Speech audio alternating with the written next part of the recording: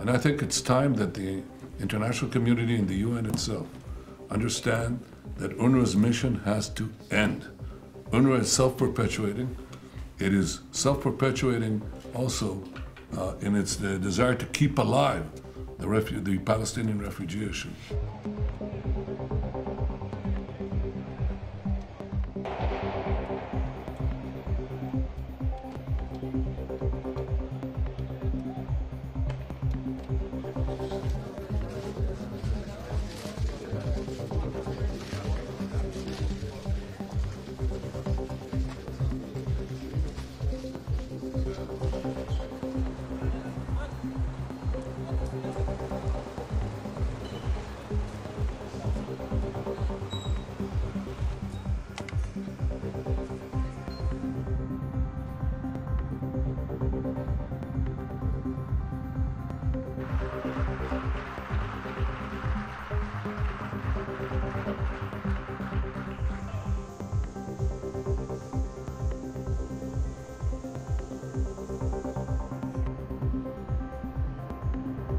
Thank you.